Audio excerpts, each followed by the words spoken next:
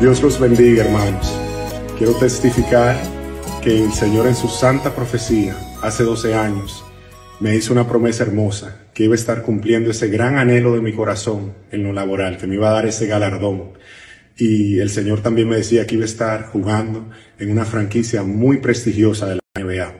También el Señor me decía que buscara lo ver en lo espiritual, que escudriñara su palabra, que fuese a sus alabanzas y que aprendiese su doctrina. Hermanos, así fue que mi jornada empezó en la iglesia, yo esforzándome y el Señor eventualmente me bautizó con su Santo Espíritu y me permite servirle y ministrar sus dones. Hermanos, el Señor a través de los años me dio muchos triunfos, me sacó adelante muchas victorias, pero esta bendición no llegaba aún. Este año, hermanos, eh, empezó con un poco de adversidad para mí en lo personal, pero el Señor me decía, mantente humilde, enfócate en mí, y yo hice eso. Creí en el Señor, me enfoqué en Él y el Señor no tardó en manifestarse, empezar a ponerme en alto y a sacarme adelante.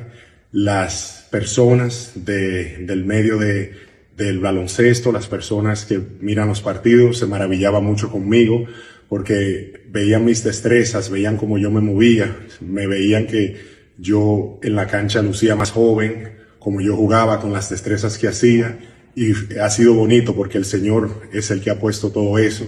Él me lo decía en profecía, que me iba a dar esa gracia, que me iba a dar esa fortaleza, ese vigor, y así todo se fue cumpliendo.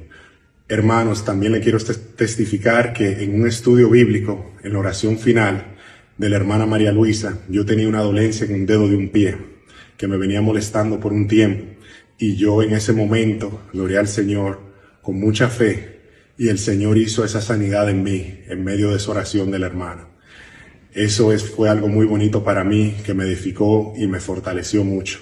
También le quiero dar gracias a la hermana por ese amor, por esa dedicación que ella nos tiene a nosotros y como ella enseña con esa doctrina. También le quiero dar gracias a todos los hermanos de la iglesia que continuamente estaban orando por mí, teniéndome en cuenta. Eso es algo que me llenó de mucha alegría y me motivó mucho.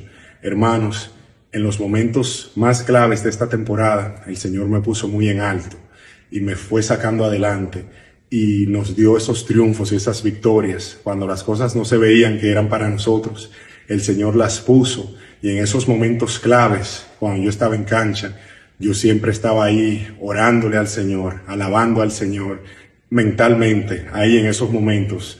Los que veían los partidos quizá no se daban cuenta, pero yo estaba ahí sentado alabando, parado alabando, siempre teniendo al Señor ahí conmigo.